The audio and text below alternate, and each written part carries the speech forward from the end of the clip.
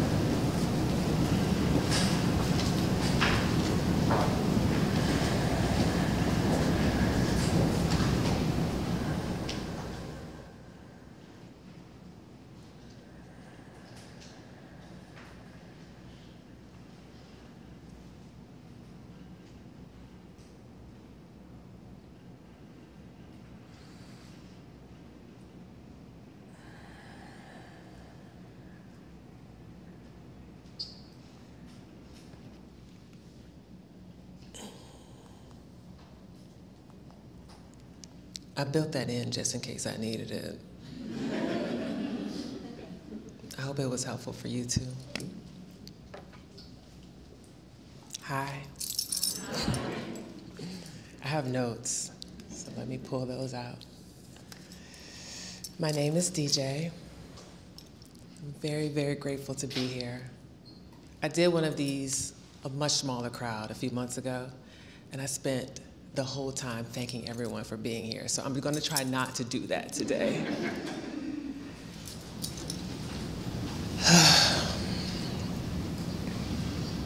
My highest credential is human, but the one that brings me to this stage is most closely related to the work I do at Health and Mind. This is my team. Aren't they beautiful? I may have birthed this business, but I am the team captain for a group of very hardworking, dedicated, value driven, reliable, beautiful, kind human beings. And I'm so very grateful.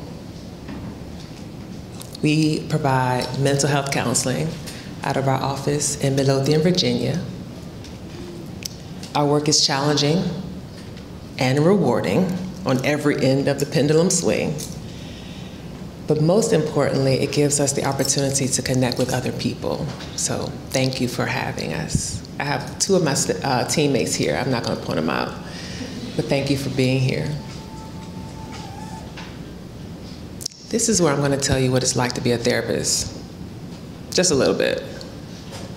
So, for the last many, many years, I've sat in small rooms with one or more humans, more often than not, talking about some pretty serious life stuff, right?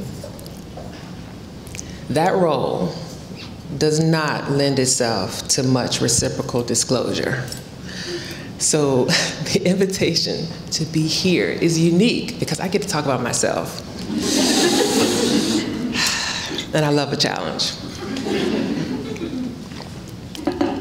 Side note, those experiences also birth the DJ voice. It has a mind of its own. so I begin to think, what version of myself would I like to reflect in a room of people who know nothing about me? Well, some of you do, but most of you are meeting me for the first time. There's so many things I could share, so, so many. But what I'd like for you to see is something I've been working on for a few years. I spend most of my life living my unlived life so that my children don't have to. And for the la- hi, hi child. and so I make these art pieces. I'm going to show you a piece of art that I made. And I built in time for applause, so I'm going to let you. I'm let you figure that out. When I rehearsed this with my son, he said, Are you gonna say that? And I said, Maybe. And then he said, Are you gonna say that? I said, Maybe. So I would like to show you this piece of art. I call it 41 Where.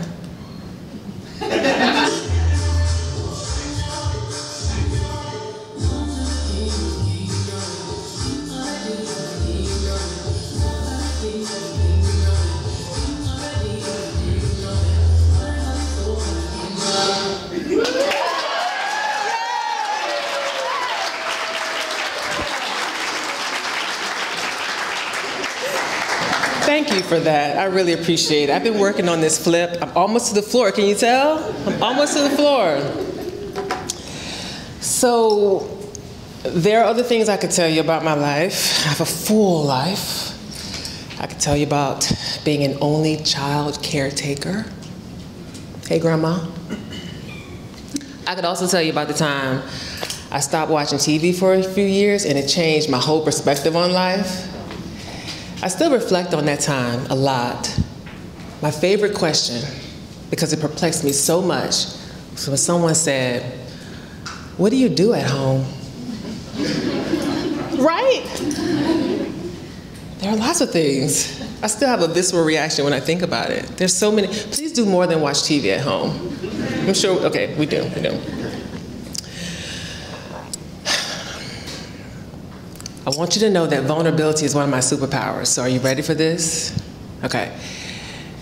What I'd most like for you to know about me today is that you are observing the human experience of burnout.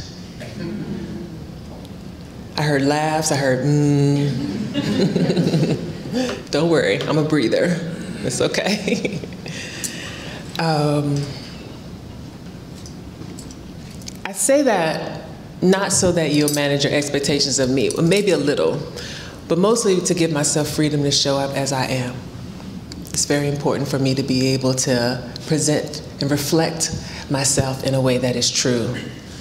and living a full life. Basically, my, my definition of burnout is when you are like doing the most and it caught up with you.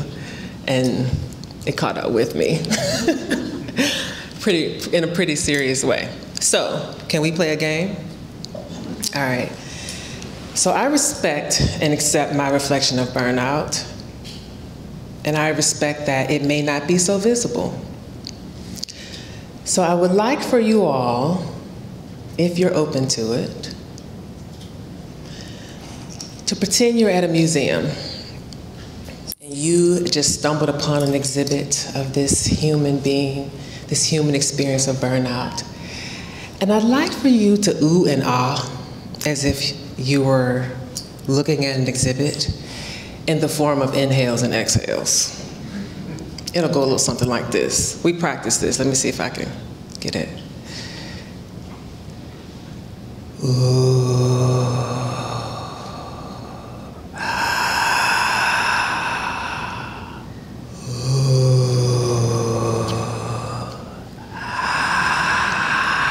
I'm gonna turn slowly while you watch. Ooh.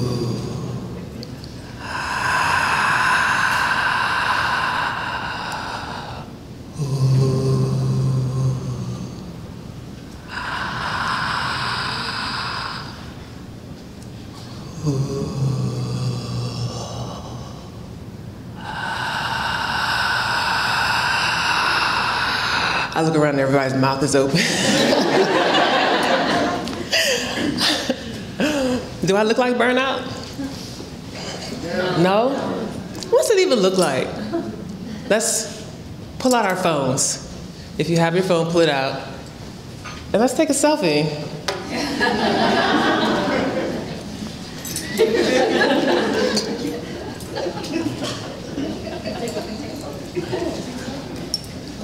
As you take this selfie, I'm gonna say some stuff.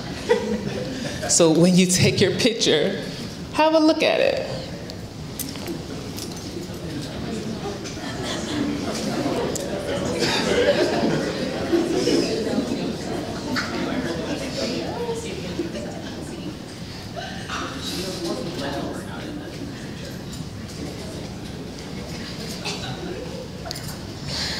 All right, so as you look at your picture, I would like for you to consider what you see in your reflection that may not be so visible.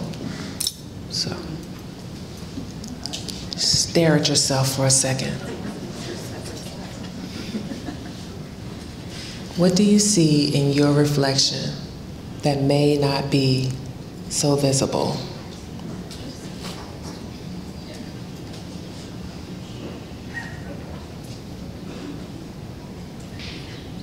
While you do this, I'm going to provide you with an affirmation. In community, we achieve harmony through acceptance of others. Internally, we achieve harmony through acceptance of self. We can find harmony through accepting our reflection without judgment. Take a minute to offer your reflection some acceptance.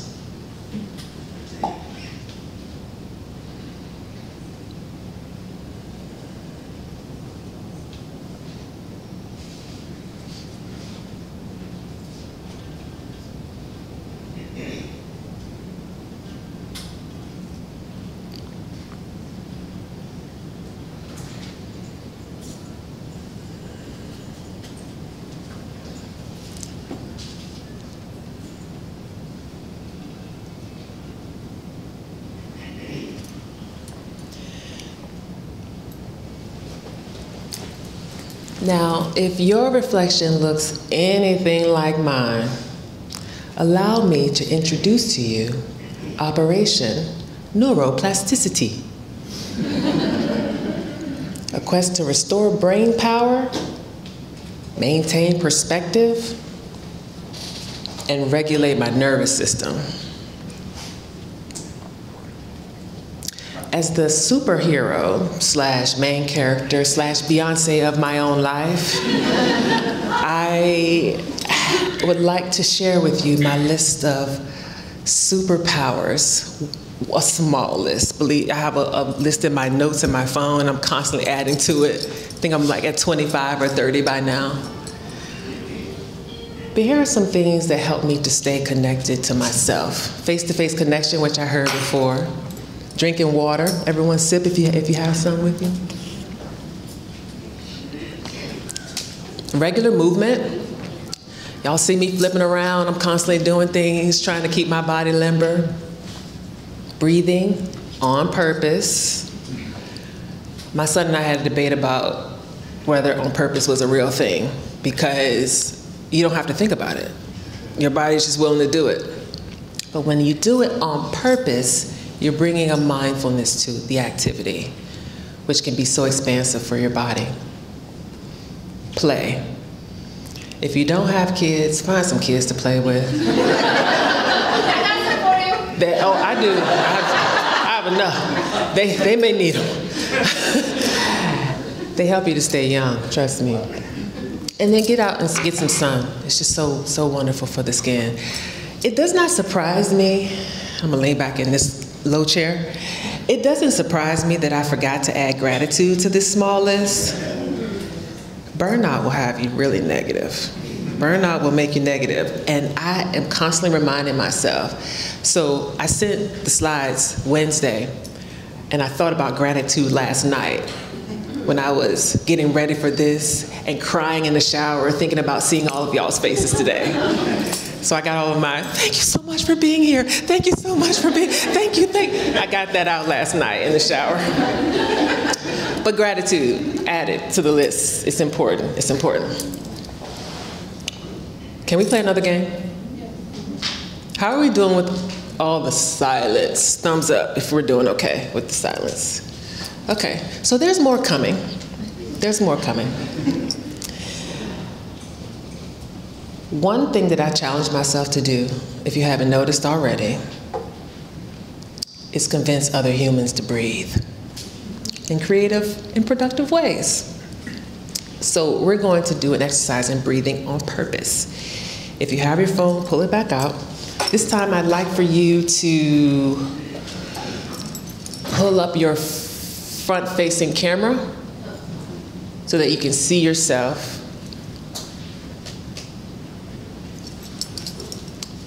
And I invite you to watch yourself breathe.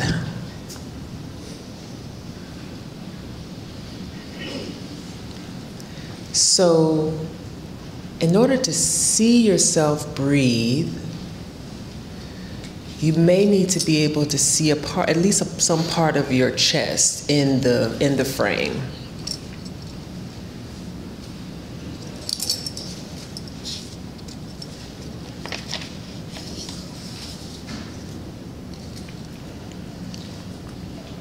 Notice the movement your body makes when you take in oxygen.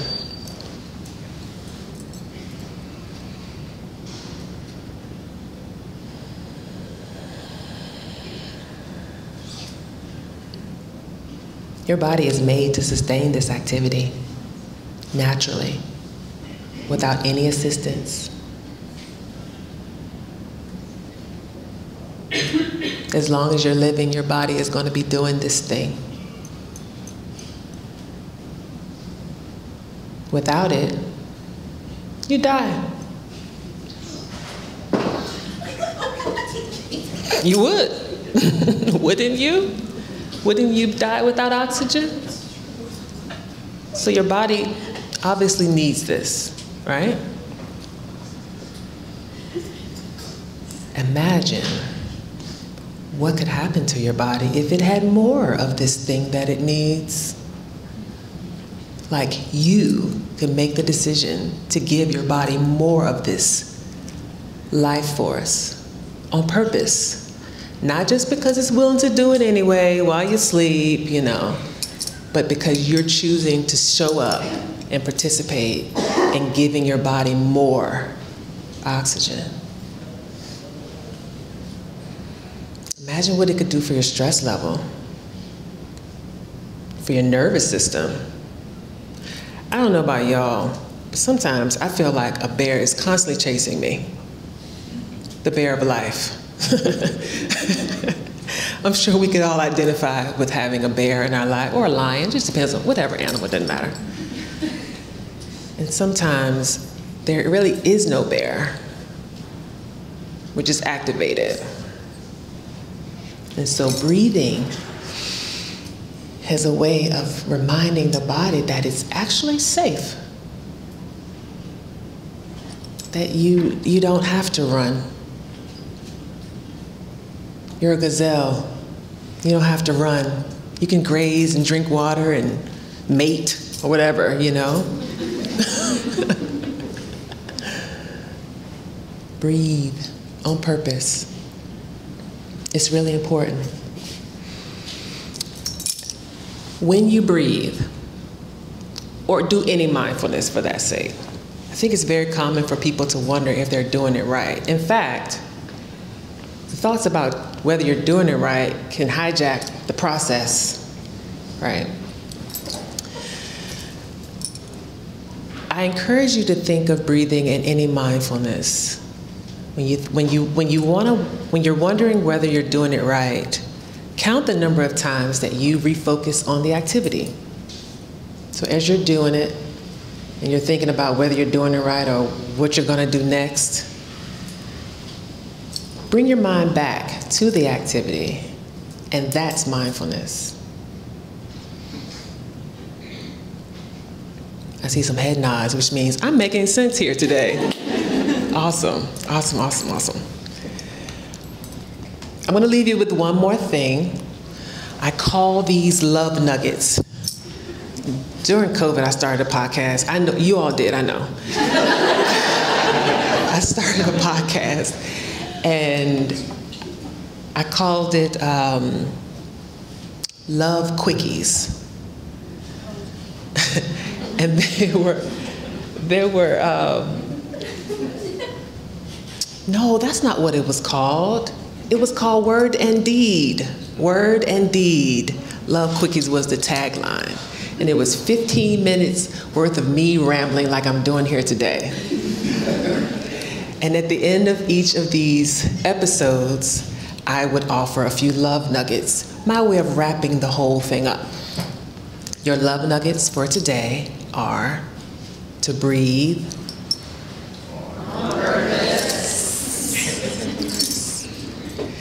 and to seek opportunities to see your reflection with acceptance because you are worthy of your own attention.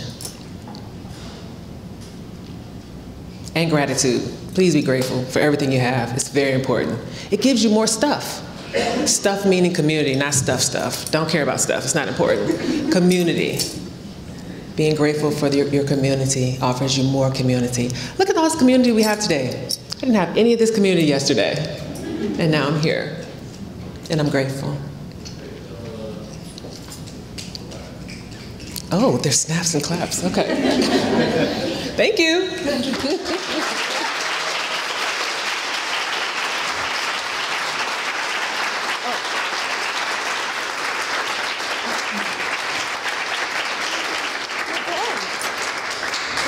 We'll do a few questions. Yeah? Sure, let's do it. Okay. Oh, Gail, you've got one. That is- I don't need the mic. Yeah, I figured that. So. Sitting and listening to someone share their pain, being a, a caregiver, you mentioned you're an only child. These are acts of compassion which don't come free. I mean, they take from us. How do you replenish? How do you replenish that well in which you keep giving and giving and giving in what seems like to be a passive action, but actually is, is really very No, it is not passive at all. I call 2023 and 4 um, my seasons of sacrifice.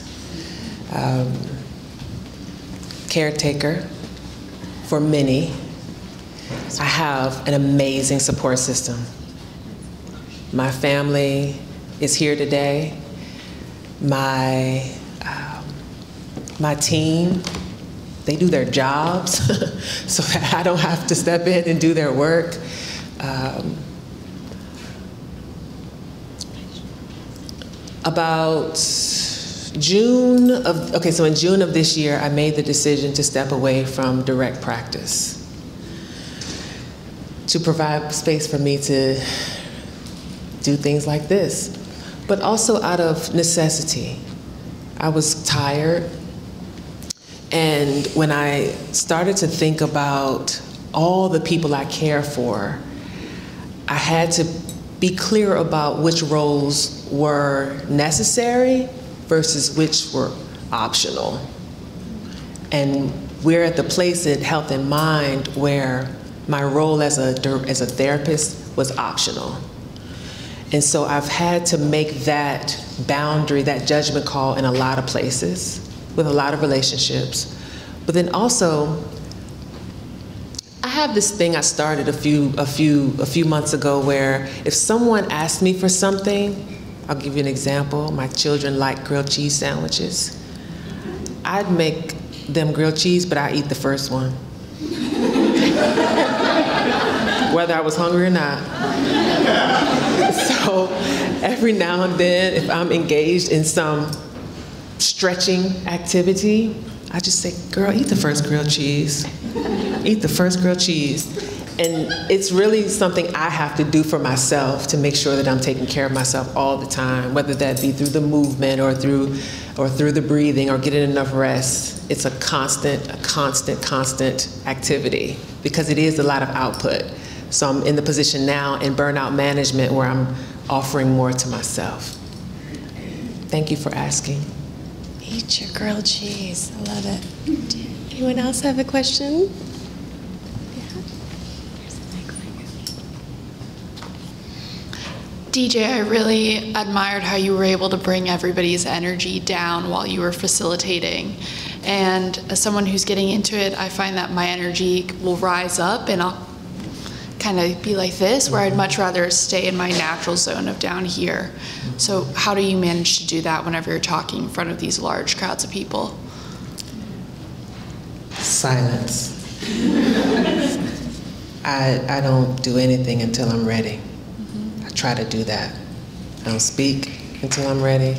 Because honestly, if I did, it would just be weird. Mm-hmm. I'm a pretty strange person, I promise. so I just try to give myself space to slow down, and the breathing helps. Thank you. Thanks for asking. And sharing too. Uh, thank you for being here today and bringing all of us together and um, it was really amazing uh, speech. Uh, how long have you been working on your front flip, and what are your goals? What are your goals moving forward with it? I love this question. So I always wanted to be a gymnast. So when I said I'm trying to live my unlived life, so that these children don't have to like go to the Olympics for me. I have been working on this flip intermittently for three years. I hibernate in the winter, I don't move much. I give myself permission not to do much. Uh, but then I always come back to it. And I want to, I want to flip around and dance. I love to dance. I want to just turn on some music and just move my body in ways that seem, seem fluid I showed someone this video, the video of me flipping, and he said, my body would have disassembled if I had to And it's my goal to be able to move forever. And I know that I have to move today in order to accomplish that. So movement, I'm just, I just want to move. Just keep moving. Thanks for asking. Can I make a comment? Of course. Your front flip was perfect because your squat you started with was perfect. Oh, I'm a, I'm a squatter now. I can squat. Y'all want to see?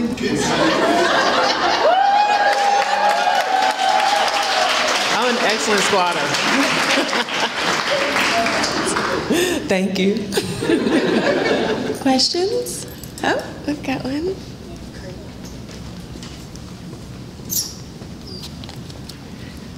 How do you deal with grief and work when they're happening at the same time? Such a great question. Could you repeat the question? I was asking about dealing with grief and work when they're happening at the same time.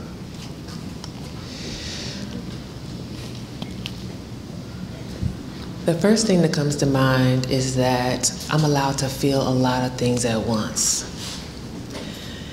And when you surround yourself, I have the flex, I have such a unique work experience that I, I get to surround myself with people that I like. you know, we don't always get that. And in, in my work setting, I offer a lot of trust and support. And that it just recycles into my life in a lot of ways. And so when I'm managing my own grief,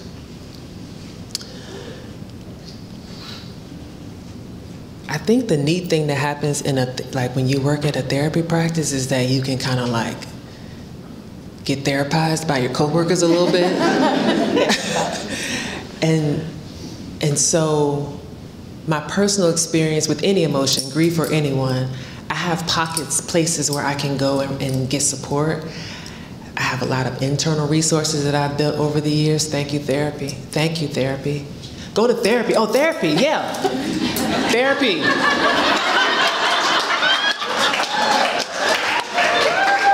therapy. That is the answer to your question.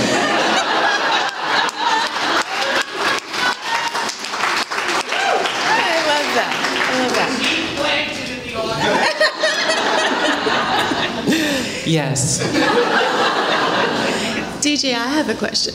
So, how do you deal with folks that are not okay with silence? Okay with silence. So, you talked about our response and what we can do to ground ourselves. But when you're on the res- silence, DJ told me um, we do have TVs, correct? Because I will I will start my talk in silence. I was like, that's amazing. so that that experience, just you said to incorporate it in our daily. So I have a friend in this room that is the most silent person I know. And sometimes it's uncomfortable because you want to fill the space with stuff. And I think it's similar to practicing patience. It's just something that you just have to practice and manage the discomfort that comes with it. So rather than try to fill the space with words, reflect on why it's so uncomfortable. Quietly. quietly. I love that. Does anyone else have any questions? Our friend from Baltimore. Okay. Baltimore. Hi. Hi. Um, my question for you uh, is uh, being an entrepreneur, how do you balance that with other areas of your I don't. life? Thank you. I don't either. I'm sorry, can you please repeat that? Being an entrepreneur, especially in a therapeutic practice, how do you balance that with other areas of your life?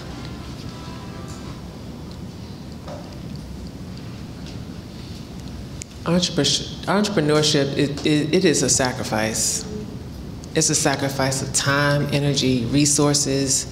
It is, and it's not just an individual sacrifice. My family experiences it. I love that my kids are here because they get to see all the stuff I talk about when I have to work. I think they hate my work because I'm always doing it. But having them here shows them why. Like, what, are we, what is it that I'm actually doing? And I think it helps. So, a part of the balance is inclusion. It's also setting better boundaries. This year, I've had to, you know, stepping away from direct practice and I've had to really set a lot of clear, firmer boundaries around how much I'm willing to give health and mind because it's like a toddler just needs needs me but I have so many like wonderful caretakers that work with us that can do the work. Setting clear work hours has also been very helpful. Having the right resources, internal and external. Those things have really helped. Thanks for asking. Thank you so, so much. Can we give her a hand? Jack?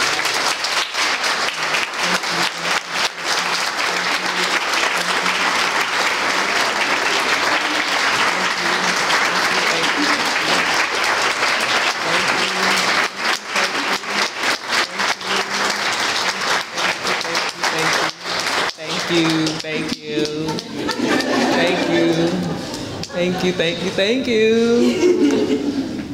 Thank y'all too. Thanks, kids. And thank you. DJ, thank you so much.